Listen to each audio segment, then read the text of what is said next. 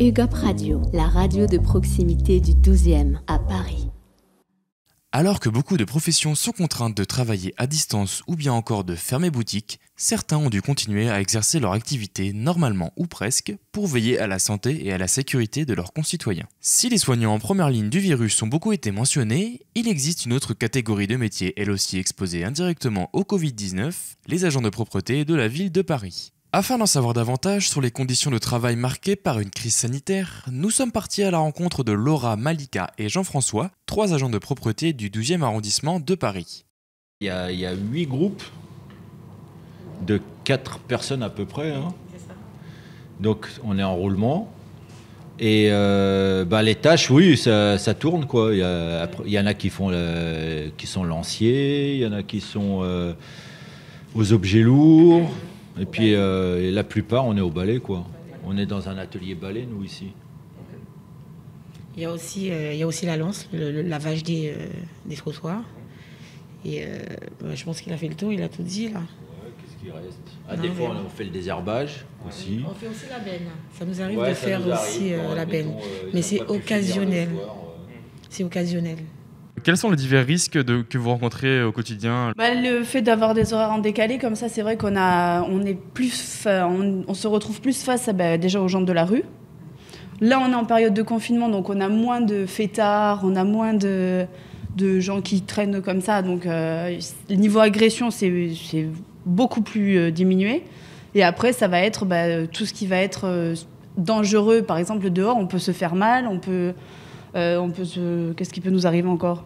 On peut trouver des seringues. On peut trouver des seringues, Il peut y effectivement. avoir des seringues dans un sac, on peut se piquer, euh, on peut être agressé par des gens qui ont bu. Ouais, après. euh, Après, notre mission première, ça va être de vraiment euh, dé- dégager le terrain. On a des zones, par exemple, euh, comme le secteur où travaille Jean-François, il y a des écoles, euh, il y a des sorties de métro, il y a des sorties de gare. Tout ça, il faut vraiment intervenir euh, en priorité le matin, dès notre prise de service à 6h10, de manière à évacuer, par exemple, des bouts de verre, des seringues éventuellement. Euh, tout ce qui pourrait être amené à être un danger, par exemple, pour un enfant ou même pour un adulte. Notre travail, ça va être d'intervenir, d'en informer nos chefs qui, eux, par derrière, vont faire le nécessaire pour que tout le monde, en fin de compte, soit en sécurité et que ce soit propre pour les riverains qui se lèvent le matin. Est-ce que vous avez eu la reconnaissance de la part des, des citoyens? Oui. Oui, ouais, ça va, euh, parce que comme je disais euh, tout à l'heure, quoi, il y a, il y a des gens qui nous ont. euh, petite association, je me rappelle plus comment qu'elle s'appelle. euh, qui nous ont fait des gâteaux, qui nous ont préparé des petits trucs, des petits messages, des... ils ont collé ça sur les arbres, ils ont collé sur les poubelles. euh, Bravo. Vous, vous- heureusement que vous êtes là. euh, plein de choses comme ça, quoi. Les gens sont beaucoup plus avenants. Ils vont venir beaucoup plus facilement vous parler. Ils vont, euh, ils vont facilement venir vous dire merci pour ce que vous faites, merci pour. euh, Et puis vous poser des questions parce qu'en fait, ils s'intéressent énormément. Vous disent alors c'est vrai, vous ramassez beaucoup de masques, alors c'est vrai, il y a beaucoup de gants. Alors oui, c'est vrai que ça, ça a cassé une certaine barrière qu'on peut avoir de l'éboueur en fait. Ouais.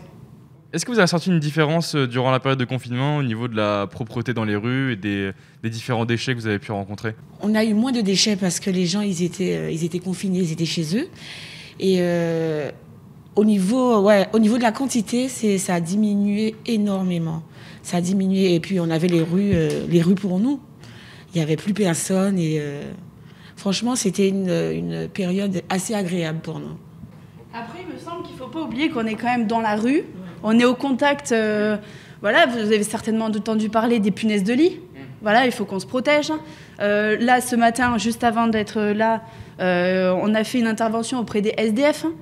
Euh, il faut savoir que ben voilà, c'est de la nourriture qui est dehors, c'est des rats, c'est des voilà, c'est plein de choses. Donc, on est aussi préparé à se protéger. On peut être au contact de tellement de choses qu'en fait, ce virus, pour nous, le port du masque, on le portait lorsqu'on devait nettoyer dehors. Donc voilà.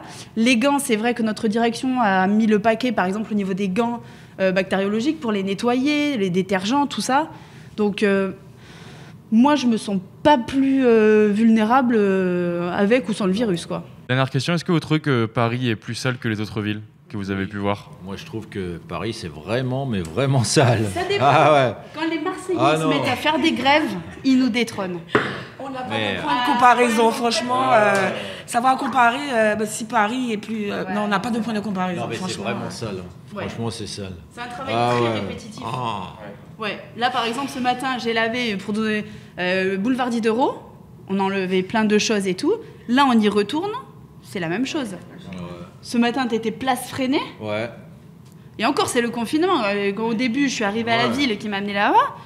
C'est vrai que les gens devraient faire plus attention, plus. euh, parce que nous, on a l'impression de rien faire, quoi. On, on- on vient de le faire, et puis on, on revient euh, quelques heures après, et c'est euh, encore plus sale. Mais c'est vrai que quand le matin, tu te dis, alors hier, j'ai fait nickel, il y a, là, tout est nickel. Le matin, tu arrives, tu te dis, ben pourquoi? Bon, on est là pour ça, hein. Faut- on, on l'oublie pas. Mais c'est vrai qu'on se dit qu'en fait, ça peut être l'effort de chacun.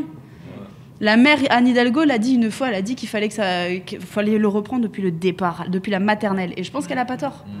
C'est vraiment. euh, là, c'est un geste citoyen, en fait, là, de tout le monde. On, peut, on est là pour entretenir, on est là pour nettoyer, mais il me semble que ça en va de, de tout le monde, quoi. Mais même, même si les gens ils mettaient pas des, des ordures par terre, on aurait du boulot quand même. Il me semble que tout le monde devrait un petit peu plus s'ouvrir, regarder un petit peu plus ce qui se passe chez eux.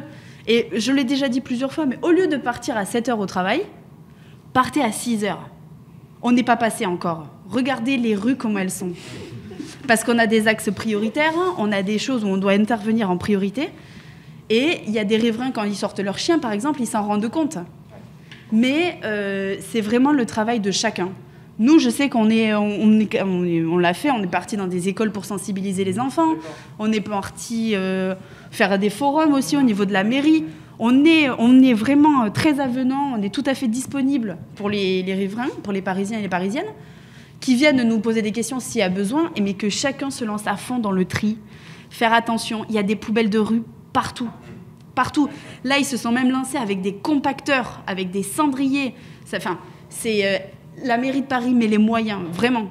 Comme ils l'ont si bien dit, chacun doit être responsable de ses déchets et avoir un comportement citoyen et respectueux envers ses métiers. Donc, ayez le bon geste. UGOP Radio, la radio de proximité du 12e à Paris.